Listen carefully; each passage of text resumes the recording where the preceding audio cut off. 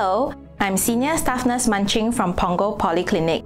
Today, I'm here to share with you on how to take care of a baby's umbilical cord in order to prevent infection.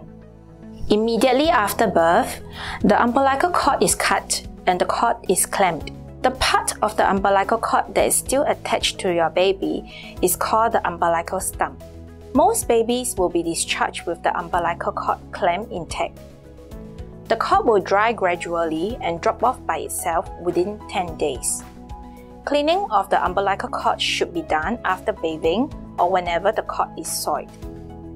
For the cleaning of the umbilical cord, you will need some cotton balls, cool boiled water, and a clean bag for disposing the used cotton balls. Wash your hands before handling the cord stump. Clean the base in a circular motion. Clean the stump from the base upwards.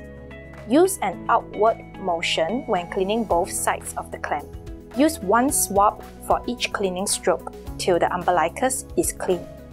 Perform hand hygiene after the cleansing.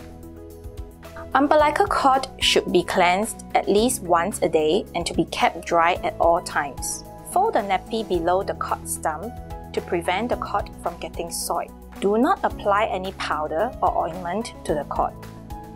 Seek medical attention if there are signs of infection. Example, if the surrounding area of the stump is red, bleeding, or if there's foul smelling of discharge from the umbilicus. I hope this video will be helpful in the beginning of your parenthood journey.